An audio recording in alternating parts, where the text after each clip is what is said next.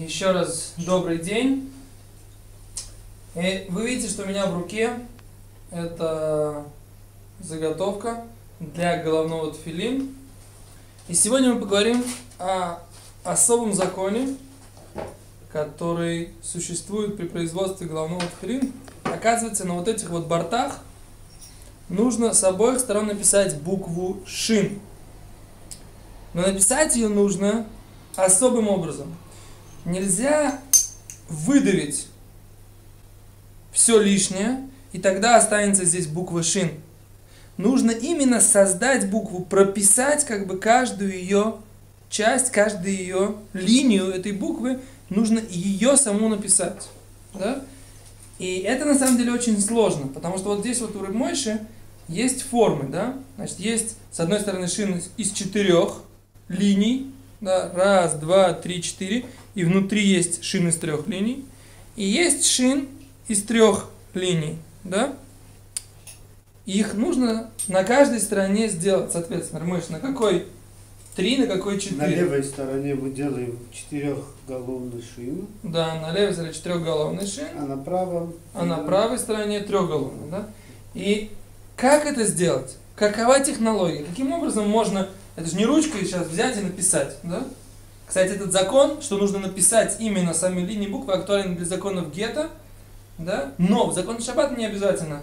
Даже человек, если написал просто, убрал все лишнее, получилась буква, он уже нарушает законы субботы. Да? Так вот, как в законе тфилин можно написать? Вот сейчас нам Мойша расскажет и покажет, как, собственно говоря, какая у него технология, как он делает эту не выдавленную, а написанную шин на куске твердой кожи. Значит, мы уже чуть-чуть знакомы с этой, с этой э, машиной, когда мы говорили про тфилин ручной.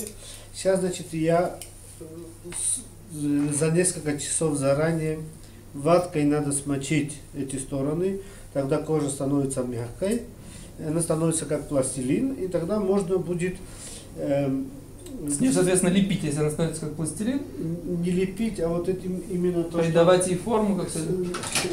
Я покажу это на своей руке. Это будет, мы должны взять кожу сдалека и вести эту кожу туда нам нужно. Вот так ее как бы перекатывать на то место, куда нам нужно.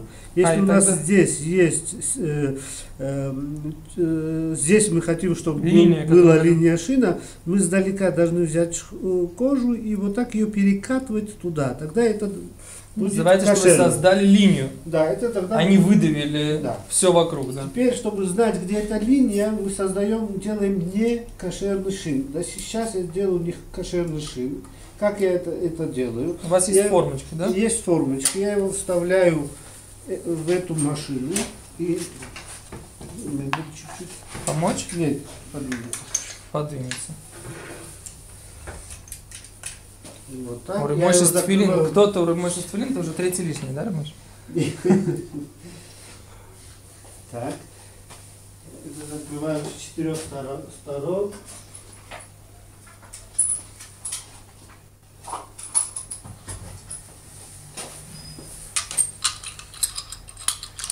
Это просто конструктор Лего.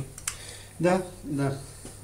Как-то мы завозили сюда из Советского Союза эти железки, так и сказали, что это Лего. Так, что-то нам там мешает. Что-то мешает.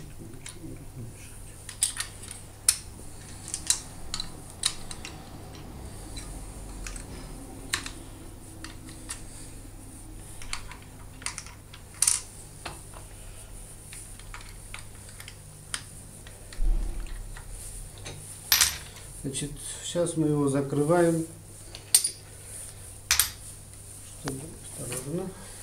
Так, то есть вы сейчас приложили две эти формочки, залепили, Поставим. поставили.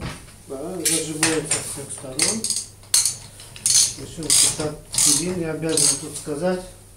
Хотя я делаю не кошерный филин, но тем самым, что я вот здесь зажимаю, появляется квадрат. Вот филина поправляется квадрат. Поэтому я равно важно сказать, сказать что да, ради святости дисциплина делается. Ради себя дисциплина, потому что исправляется тут это квадрат филина, о котором мы говорили.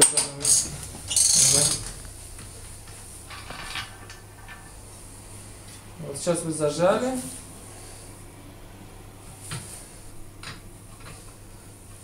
И сколько времени она должна в таком состоянии постоять с этими ну, формочками? Немного. Это немного, буквально тут мы поставили несколько секунд. И можно сейчас его вытаскивать. Да, теперь вот мы его вытаскиваем. А, вот так вот быстро? Не кошерное, все очень быстро. Быстро и легко, да? Да, быстро и легко. Все, что Потому что кошерное. есть у нас ветеринара, который помогает нам делать не кошерно. Поэтому, если вещь идет легко и быстро, то надо быть на чеку, кто нам помогает. Ага.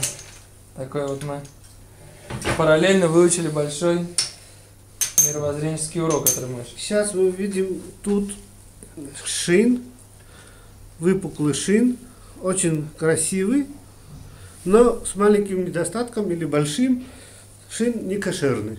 А потому что мы выдавили за счет Да. этой формы, у нас осталось, как получилось, у нас осталось вот это вот место, да, у нас вот здесь осталось место, где можно сделать, куда может остаться материал, где может остаться, а все остальное мы придавили, и получилось вот такой вот хороший идеальный шин идеальной формы.